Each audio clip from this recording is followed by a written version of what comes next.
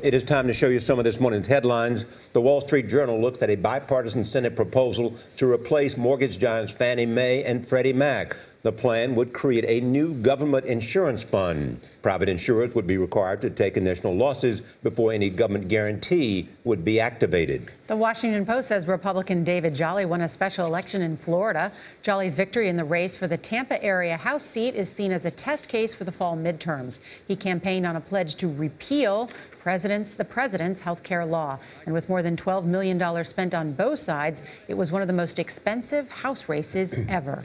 The New York Times looks at a new report that finds a steep rise in young adults taking medicine for ADHD. The number of people 26 to 34 years old receiving drugs for the disorder doubled to 640,000 between 2008 and 2012. The Columbia Missourian says Ryan Ferguson filed a $100 million lawsuit. He spent nearly a decade in prison before being released in November after court overturned his murder conviction. The lawsuit says police and prosecutors fabricated evidence and bullied witnesses. It was filed on the 10th anniversary of Ferguson's arrest for the death of a Missouri sports editor. And the Houston Chronicle says police are investigating the theft of $600,000 from Pastor Joel Osteen's mega church. $200,000 in cash and $400,000 in checks are missing from a safe at Lakewood Church.